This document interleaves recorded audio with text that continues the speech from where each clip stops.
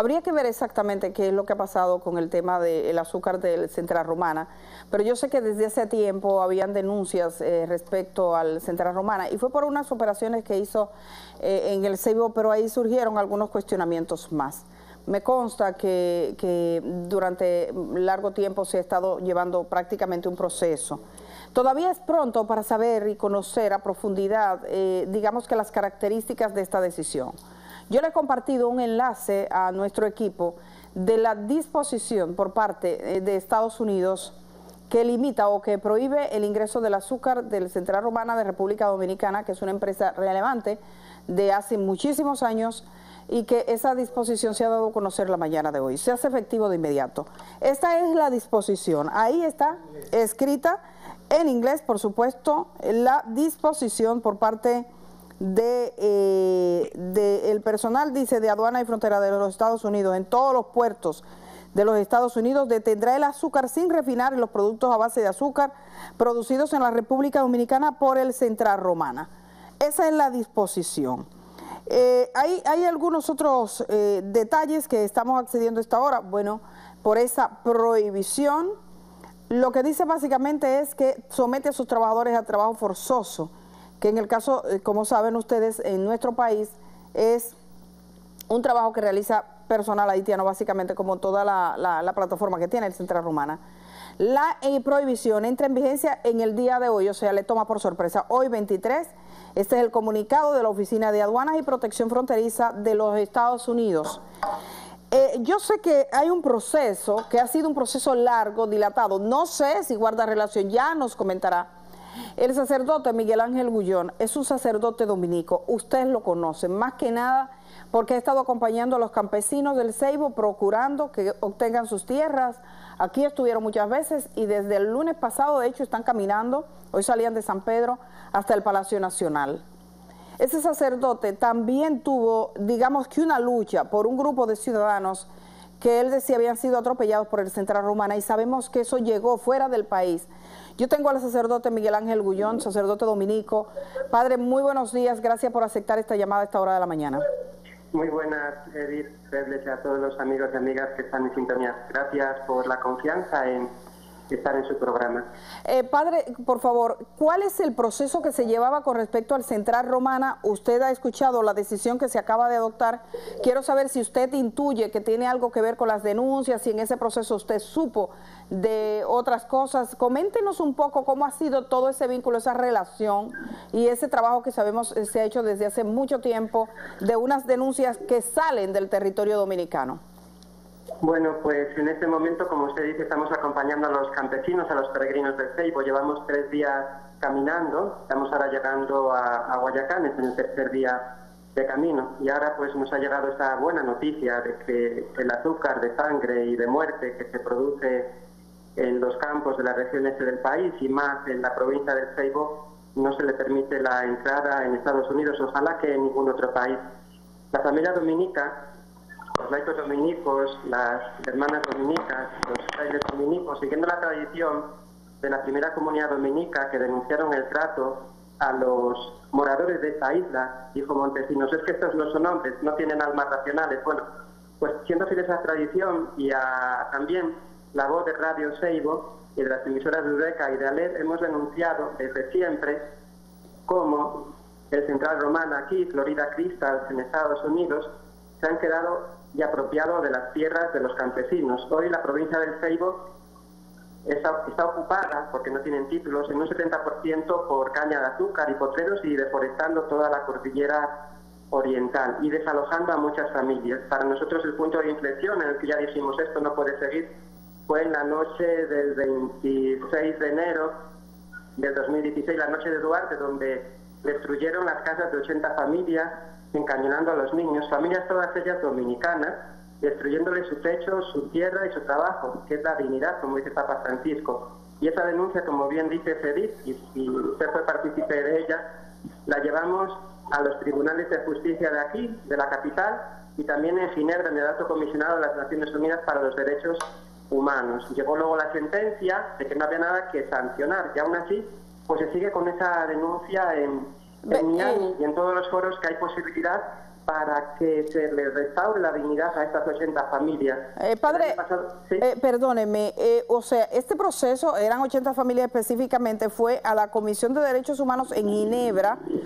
¿Qué, ¿Cuál fue la sentencia? ¿Cuál fue el dictamen y cuándo se produjo? Bueno, la sentencia de la Procuraduría General de la República en diciembre del 2018 de la Procuraduría de entonces dijo que no había nada que sancionar después de que hubo una reunión en la Procuraduría Fiscal del Seibo con la magistrada Rosalba Ramos, con la magistrada de la Procuraduría de la República, dijeron que eso se iba a condenar una reunión que hubo con ella y con los ejecutivos, altos ejecutivos de Central Romana y con las familias. Ellos dijeron, los ejecutivos de Central Romana, que lo sentían mucho, pero que la política de la de la política de la compañía central hermana era de expansión, pero estas familias vivían en un camino de uso público en el barrio de Villaguerrero y no estaban para nada en la caña. Y aunque estuvieran en la caña, central hermana no tiene títulos ninguno. Entonces, eh. al mes siguiente, en Ginebra, hubo esta reunión con las magistradas, una reunión monitoreada desde Palacio de Gobierno, y allá en la Embajada de República Dominicana en Ginebra dijeron, padre, no hace falta venir hasta aquí, eso se va a resolver rápido. Bueno, pues a los dos meses llegó la sentencia de la Procuraduría, reuniéndonos con el procurador Yanadán Rodríguez también para decirle todo eso y nunca nos quisieron escuchar. Y esa sentencia llegó diciendo que no había nada que sancionar y así continuó, pero nosotros seguimos en esa lucha y cuando escuchamos que hay órdenes de desalojo, incluso el año pasado, logramos que no desalojaran Pero, otras familias también en el país. ¿Algún organismo internacional eh, llegó a dictar alguna decisión, resolución de condena o algo ah, así? Claro,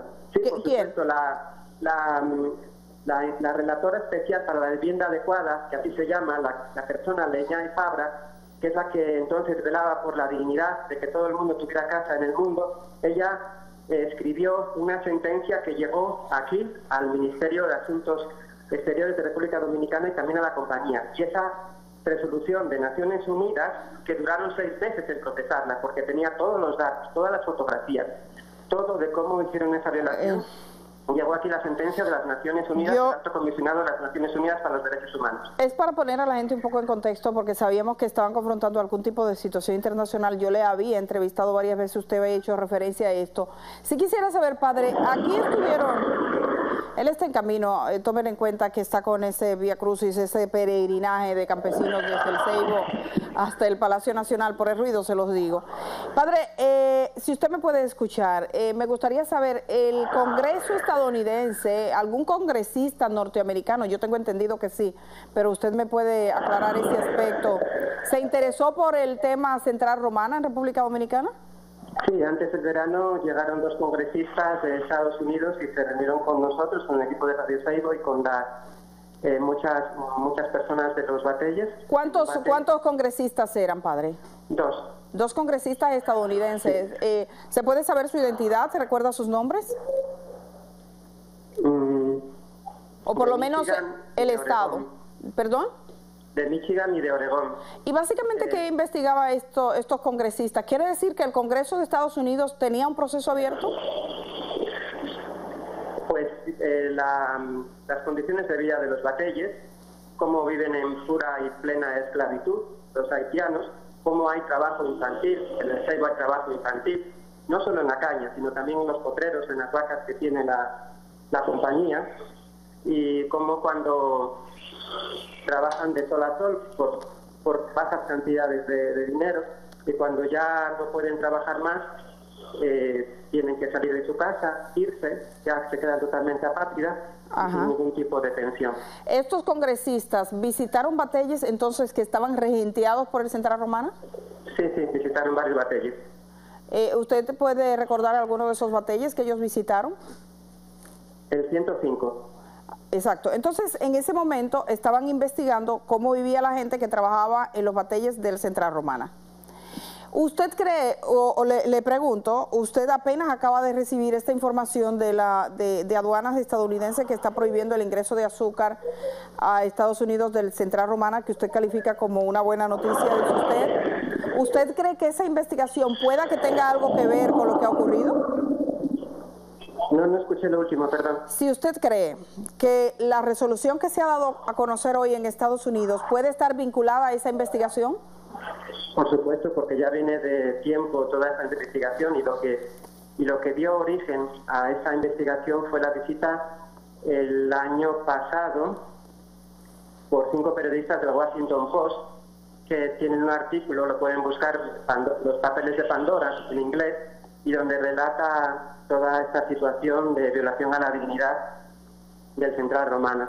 Sus periodistas estuvieron recabando mucha información que luego al leerla los congresistas en Estados Unidos dijeron, esto es verdad, vamos a verlo con nuestros propios ojos. Ah, y así fue. Ah, bueno, pues, y entonces se esperaba algún tipo de decisión. Cuando usted lee esta decisión hoy en la mañana, ¿a usted le sorprende? Me sorprende muy positivamente, porque justo cuando nos reuníamos con los congresistas y con personas de la Embajada de Estados Unidos, hasta una reunión que tuvimos la semana pasada, en la higuera, en el batey de la higuera, que se reunían con nosotros, le decíamos, a ver, y les, les, les devolvíamos la pregunta, Ustedes vienen aquí de Estados Unidos a investigar cuáles son las condiciones de trabajo. Y esta, azúcar está manchada de sangre, es azúcar de muerte. Entonces, ¿ustedes por qué la reciben en Estados Unidos? ¿Tienen tanta culpa ustedes como nosotros? Y ellos se quedaron callados. Ah, ya. Ese era nuestro deseo. ¿Por qué ustedes reciben un azúcar que está manchado de sangre y de muerte? No la reciban, ya se acabó el problema. Y la caña se va de aquí y desalojamos a Central Romana, que ellos han estado 100 años de Central Romana desalojando a los moradores de nuestra provincia del Seibo. Eh, padre, ¿en algún momento usted se ha reunido con algún ejecutivo de Central Romana? Ellos llegaron a hablar con usted. Yo sé que este ha sido un proceso largo, recuerdo su denuncia. Eh, ¿Han tenido algún tipo de acercamiento a usted en algún momento? Cuando nos reunimos en la Procuraduría Fiscal del Seibo con las familias. ¿Y ellos asumieron algún tipo de compromiso? ¿Cuál era su actitud? No, no, era totalmente de, desafío y de amenaza y ellos están en lo correcto. Y como llegó la sentencia de la Procuraduría diciendo que no hay nada que sancionar, así, así, así seguir ellos. Bueno, no lo vamos a permitir en Radio Seibo y en las emisoras de Beca, de Aler y más como, como familia dominica, denunciando a la luz del día las cobardías de, toda la, de la noche de todas las violaciones a la dignidad que hacen en nuestra provincia, no solo a las personas, sino también a la naturaleza. debo decir, el, sacerdote Miguel Ángel Gullón es un sacerdote dominico de la Orden de Predicadores, muy conocida, histórica, congregación en República Dominicana, por supuesto le conocemos muy bien. Eh, es ahora mismo el presidente de ALER, que es la Asociación Latinoamericana de Educación Radiofónica, que reúne, ¿a cuántas emisoras en el continente reúne ahora mismo ALER, padre? Socias con compromiso, son 100 emisoras, pero hay más de 500 que retransmiten todos los días los informativos de, que son de todas las emisoras. Cada emisora es corresponsal, por ejemplo, en República Dominicana, hay Radio Seibo, Radio Noticias, que envían las noticias y que se producen en cada lugar. Por ejemplo, ahora esta semana el contacto sur meridiano del mediodía, el informativo se está produciendo en Radio Seibo y ahí se sintoniza en todas las emisoras de América Latina. Eso estamos, estamos hablando de emisoras desde, desde Venezuela allá arriba hasta, hasta desde México hasta Chile, o sea, todo América Latina, pasando por el Caribe, 100 emisoras que son socias y otras tantas, dice usted, 500 que reproducen el contenido. Voy a terminar la entrevista con usted, pero no quiero hacerlo sin preguntarle sobre la caminata que están realizando a esta hora de la mañana los campesinos del Ceibo, usted viene acompañándolos, usted viene con ellos, ¿cierto? Sí, vamos caminando ahora, estamos en la caminata, entrando ahora en la dejando la autopista y entrando en la marginal de Juan Dorio y llegando a Guayacán, donde nos quedaremos en la casa de los padres jesuitas. Esta noche pasada nos acogieron las hermanas escalabriñanas en una casa de acogida que tienen en Consuelo.